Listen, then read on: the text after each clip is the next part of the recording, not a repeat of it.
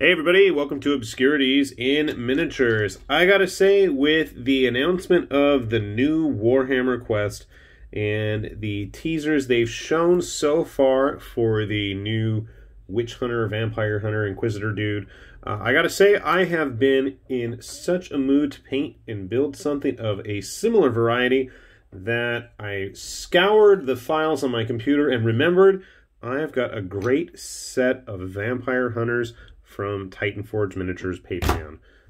Um, I figured since I already have a couple printed up, why not print a few more up to show you guys? So I know it's nowhere near as flashy as the new guys at GW is showing us, but these are some great looking witch hunter types if you're in need of that.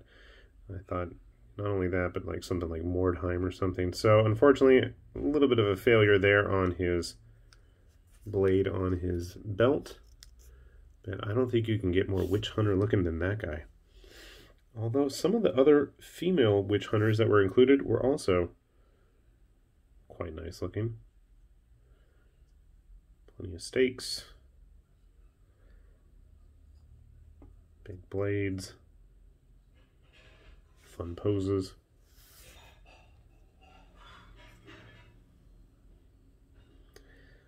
Almost all of these were also a single piece. And this is when my printer was starting to act up.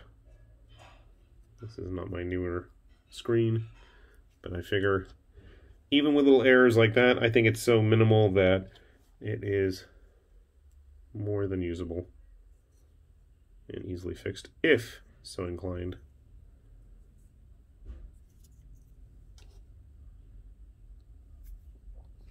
And what kind of a vampire hunting group would we be if we didn't have some kind of doctor? So we've got a very nice plague doctor here.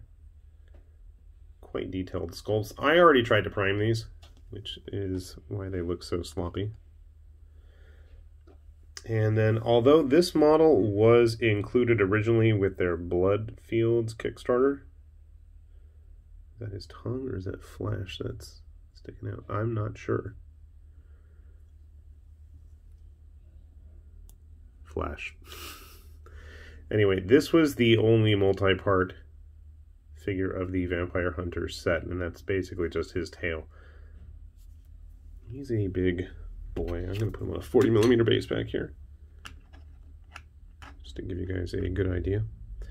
But one of the coolest things about this release, now I got this during the original Patreon run, but I'm sure if you go on their My Mini Factory page, in fact, I know most of these are there because I was double checking, but they also had a set of modular angry villagers. Now, they didn't have tons and tons of options, and somehow it got a crack there because I guess I didn't cure it enough or something.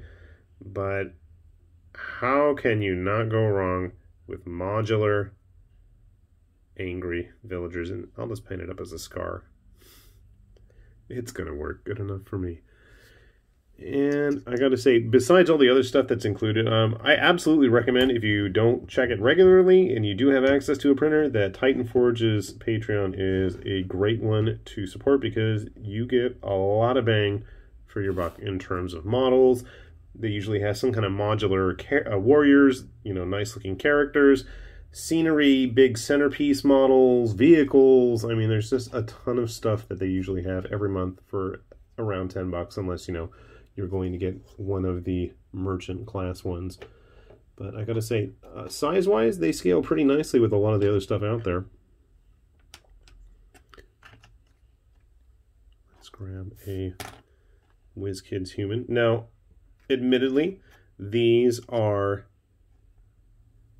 at their scale at 100%. I think if you wanted to use them, let's say with, you know, other stuff, maybe roll them down to, you know, 90, 85% size. I think that might work well as, if you don't mind them bigger. The Mierce Miniatures model.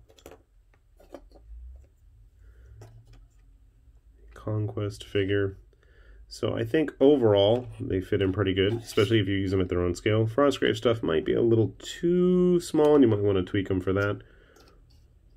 Older GW models. I'm surprised the Wargames Atlantic guy looks kind of small compared to them.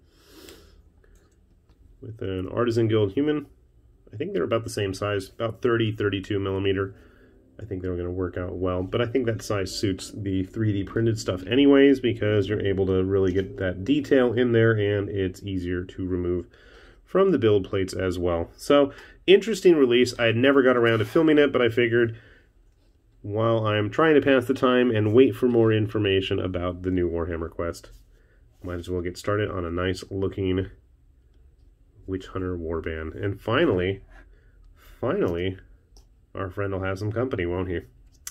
We'll put a link down below to both the Patreon and my mini factory page that Titan Forge has. And they also have a sister site Patreon for their sci-fi stuff called Cyberforge if you're interested in that. We'll put a link down there below as well. With that said, this has been High Lord Tamberlane with Obscurities and Miniatures, saying thanks for watching, and we'll see you back here soon. Bye-bye.